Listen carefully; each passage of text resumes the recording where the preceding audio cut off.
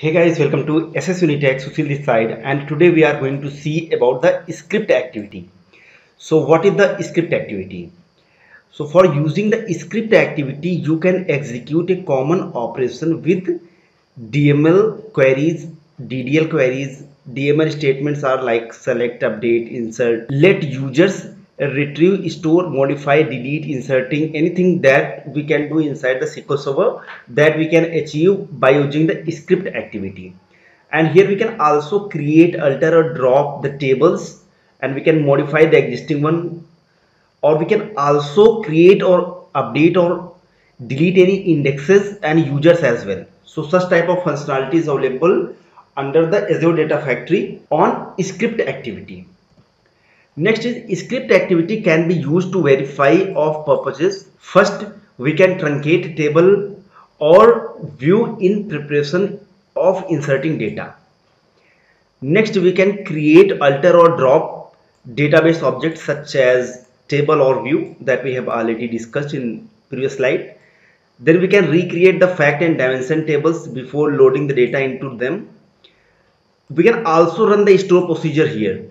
So in the previous videos we have seen about the store procedure activity. So in the stored procedure activity we can only use the store procedure. But in the script task we can use the store procedure as well as the other database object created or deleted options.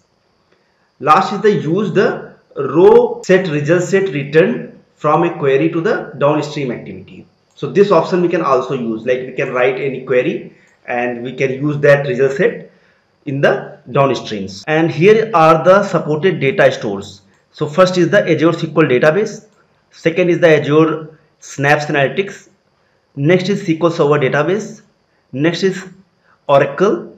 And last is the snowflake. So these are the supported data stores. So go to on the browser and we'll try to implement this script activity in practical so here first let me try to understand about the requirement.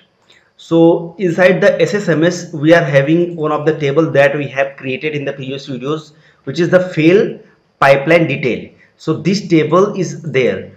So in this video we just want to drop this table in one task and next we just want to create this table. So basically go back to the browser and here let me try to add a new pipeline so let me call this as script activity. Now here we can search for the script activity. So we can drag and drop the script activity here. And let me call this as drop table. So we just want to drop the table from here. Go back to the settings and here we just need to specify the link service. So we have already created the link service in the previous video. So i'm going to use the same. That is the link service for SSU prod. Now here we have to specify the script. So under the script we have two options. First is the query and second is the non-query. So here we can see this information so for the query. So it is saying database statements that return one or more result set.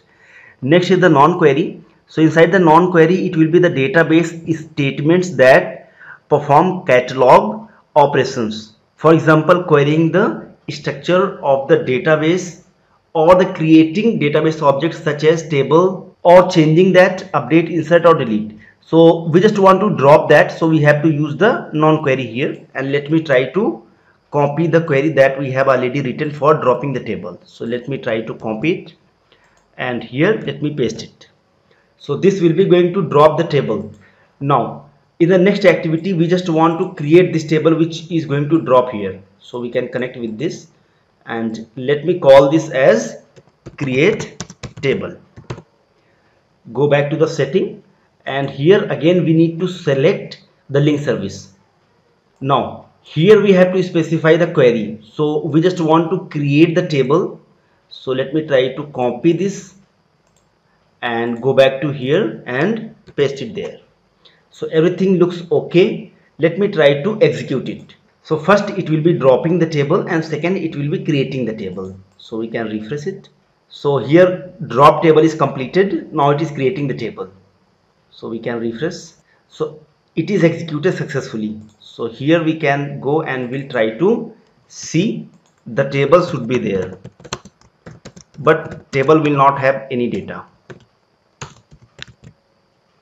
So as we can see it does not have any data but we did not verify whether it is working or not. So how we can verify that? Let me add a wait activity in between.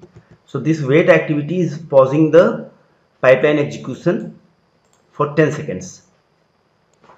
Now let me try to debug it again. So here it will be going to drop the table and waiting for 10 seconds. And after that it will be creating the table.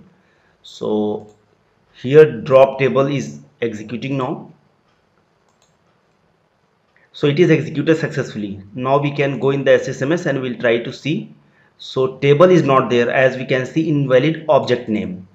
So it is on wait so we can refresh it. So wait is completed. So now table is going to create. So once this activity will be completing your table will be inside the SQL server. So we can go and here we can check. Table is there. So this is what we can do by using the script activity. So thank you so much for watching this video. If you really like this video please subscribe our channel to get many more videos. If you are having any doubt then you can comment your questions in the comment box. See you in the next video